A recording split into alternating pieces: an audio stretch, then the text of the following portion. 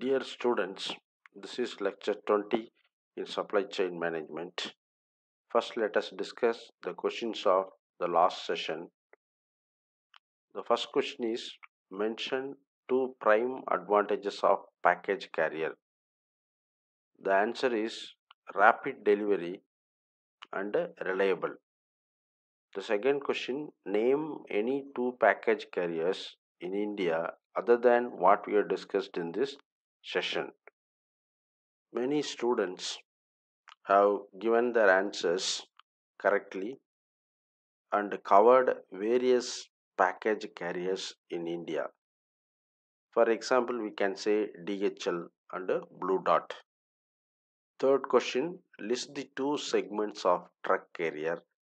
One is TL, truckload, which means we are utilizing the truck fully the another one is less than truckload that is LTL we are utilizing the capacity of the truck just less than half of the capacity of the truck.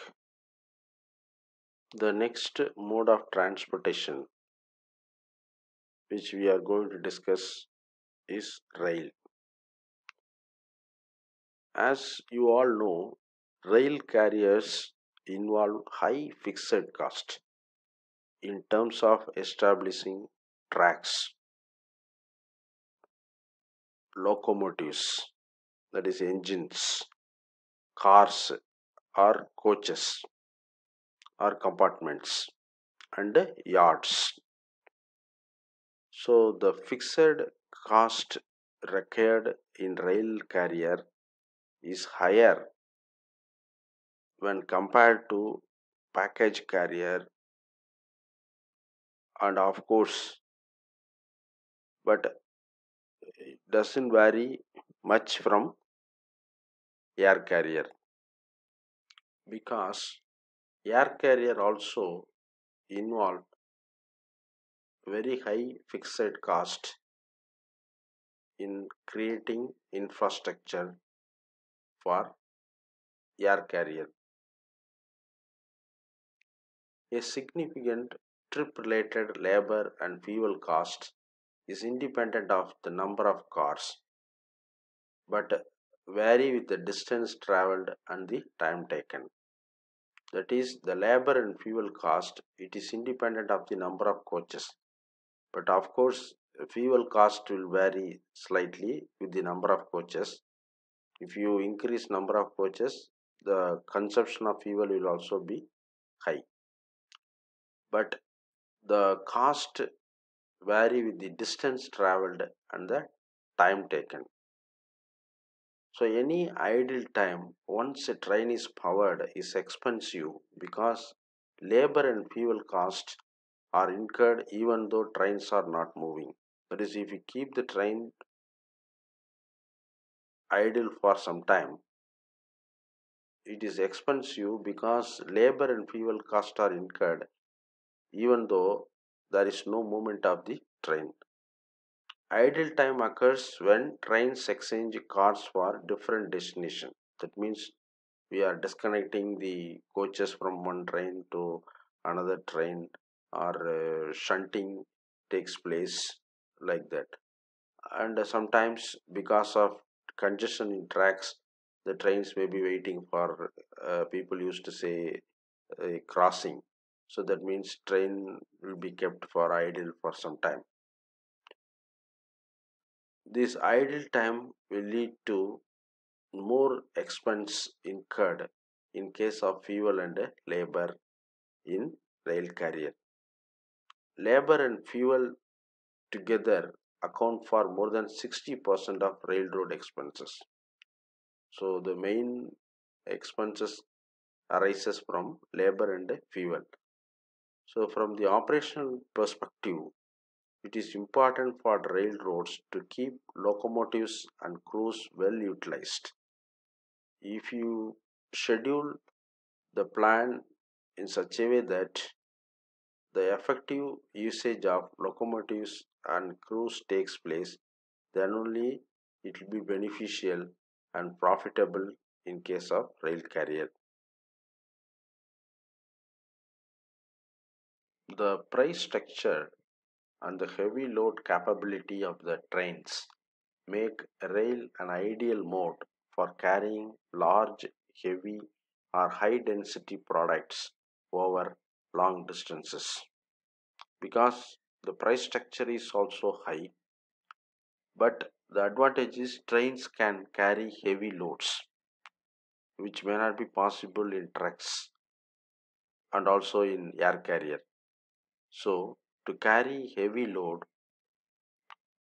from one place to another place, rail is an ideal mode and also for over long distances because trucks can carry long distances but it cannot carry very heavy products. So, rails or trains can carry heavy and high density products for long distances. Transportation time by rail is somewhat long. So, rail is ideal for heavy, low value shipments that are not time sensitive because the time taken in case of transportation by rail will be long due to various factors what we have discussed in the previous slide uh, like idle time and uh, track congestion etc coal for example is a major part of railroad shipments. As we happen to see the goods train carry coal from one end of the country to the another end from south to north or east to west like that small time sensitive short distance or short lead time shipments rarely go by rail mostly the products with the small in nature and time sensitive but in case of short distance means the rail can be used to deliver the products in short lead time. The major goal for railroad firms is to keep locomotives and crews well utilized. Then only it will be beneficial or profitable for the supply chain system. The major operational issues at railroads include vehicle and stop scheduling that is we can we have to schedule the staff and vehicle both should happen parallelly because vehicle without staff or staff without vehicle will not give any advantage so both have to be scheduled parallelly track and terminal delays which happen due to many reasons like uh, track congestion or any other reason and poor on-time performance. Mostly we observe that trains won't come in time due to various factors. Railroad performance is hurt by the large amount of time taken at each transition. The travel time is usually a small fraction of the total time for a rail shipment. Suppose if you assume a goods train is operated from Chennai to Delhi due to various reasons. It may be due to uh, track congestion or it may be due to staff uh, uh, changeover. That is, one crew of staff goes for rest, the another crew of uh, staff will take duty. So, like that, this transition will take lot of time, and so the total travel time is just a fraction of the total time for a rail shipment. Next mode of transportation is through water. Major global ocean carriers include Maersk, Evergreen Group, American President Lines, and Hanjin Shipping Company. Sometimes we happen to see container in lorries with these names. That means these containers have been moved through these ocean carriers. Water transport by its nature is limited to certain areas because we can operate water transport only where the waterways like rivers or sea is available. In United States, water transport takes place via the inland waterway system, the Great Lakes and rivers are coastal waters, which uh, we also observe in Kerala. In Kerala, there are a lot of rivers and coastal areas are available. So the water transport is very much applicable in Kerala for short distances within that state. Water transport is ideally suited for carrying large loads at a low cost. Within the United States, water transport is used primarily for the movement of large bulk commodity shipments and it is the cheapest mode for carrying such loads. It is, however, the slowest of all the modes and significant delays occur at ports and terminals. So, this is the mode of transportation which is so slowest when compared to all other modes of transportation because it takes a lot of time in ports and terminals. This makes uh, water transport difficult to operate for short haul trips, though it is used effectively in some countries like Japan and Europe for daily short haul trips for a few miles. Generally, the water transport is the slowest one. Due to that one reason is it takes lot of time in ports and terminals.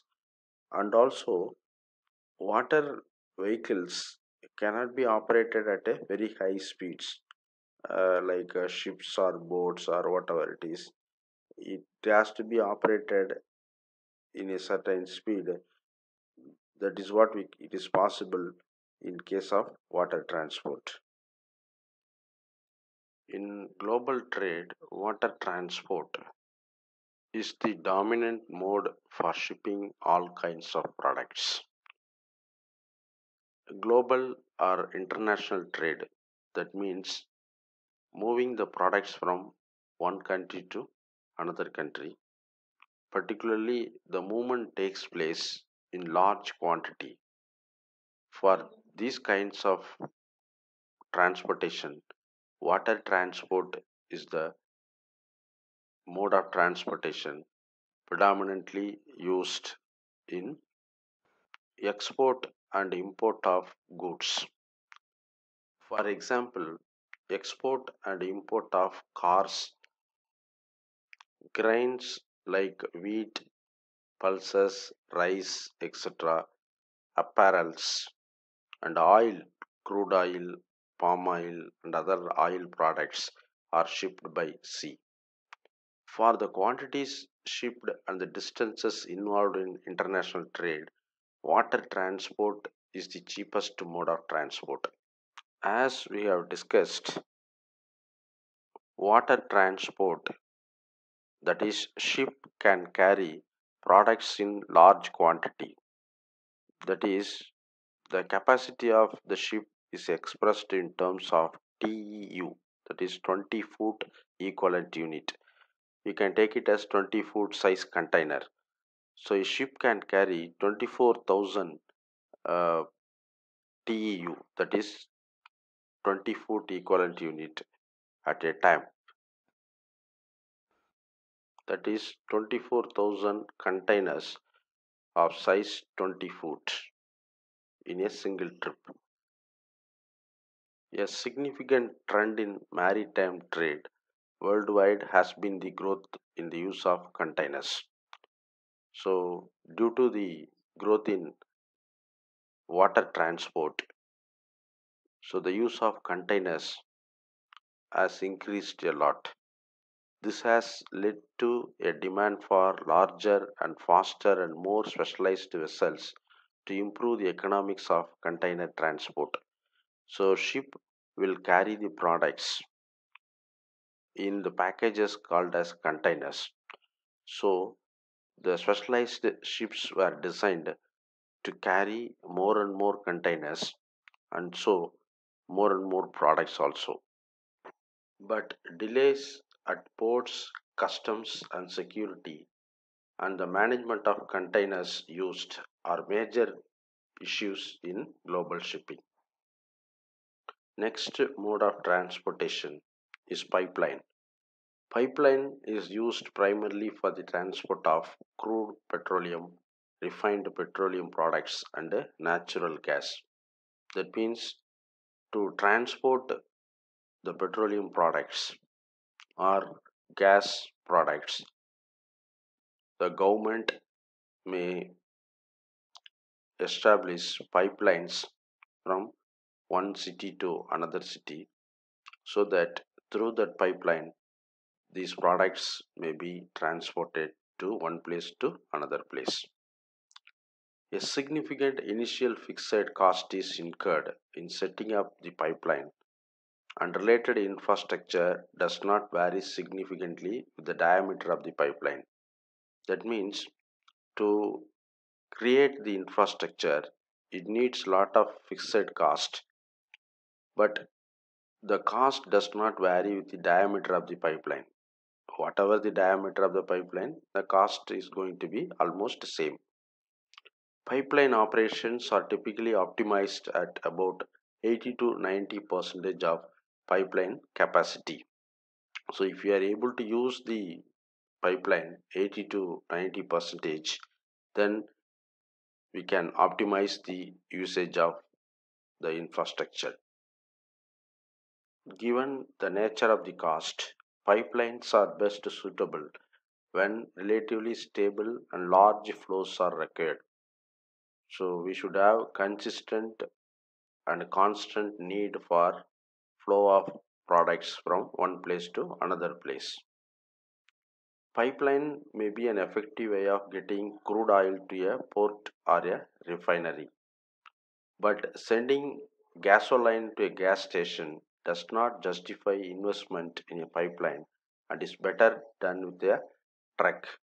That is, sending petrol to petrol pumps or petrol station or gas station through pipeline is not justifiable and it should be done with the trucks. Pipeline pricing usually consists of two components a fixed component related to the shipper's peak usage and a second charge relating to the actual quantity transported. That is, the price will consist of two components. One is fixed, that is based on the peak usage, and the second charge it is related to the actual quantity transported. This pricing structure encourages the shipper to use the pipeline for a predictable component of demand, the other modes often being used to cover fluctuation. That is, the shipper will use the pipeline for the constant and consistent need of transportation. If at all if there is any fluctuation, the shipper will go for the other modes of transportation so that it can use the facilities effectively at a lower cost. The next mode of transportation is intermodal. Intermodal transportation is the use of more than one mode of transport to move a shipment to its destination. That means intermodal transportation uses combination of the various modes of transportation what we have discussed so far. A variety of intermodal combinations are possible the most common being truck and rail. Intermodal traffic has grown considerably with the increased use of containers for shipping and also growth in the global or international trade.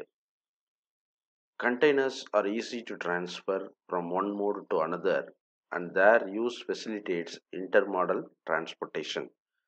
Mostly the combination is truck and rail. That means we move the products through rail from the railway station to the various uh, places again the goods will be moved through trucks Due to the growth of international trade, there is a growth of intermodal transportation also. Containerized freight often uses truck, water, rail combinations, particularly for global freight.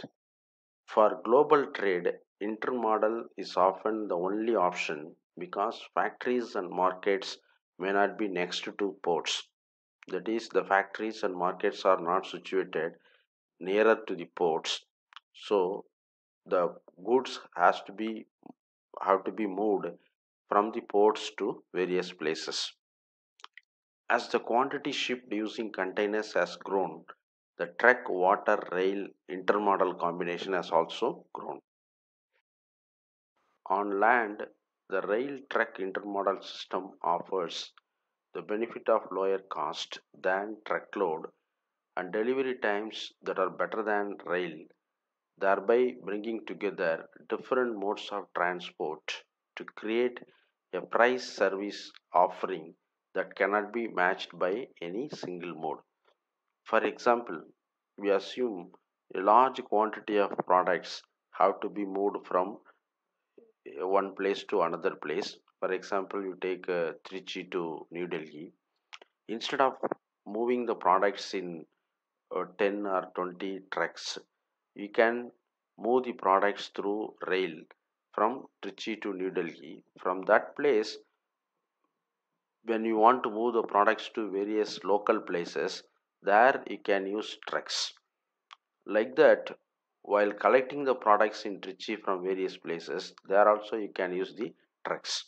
So we can use the combination of rail and truck in land to optimize the cost of transportation, particularly when you want to transport the products for longer distances in large quantities. It also creates convenience for shippers who now deal with only one entity representing all carriers that together provide the intermodal service. That is, in the perspective of shippers, if they want to use any kind of transportation or any combination of transportation, they can get it through one channel.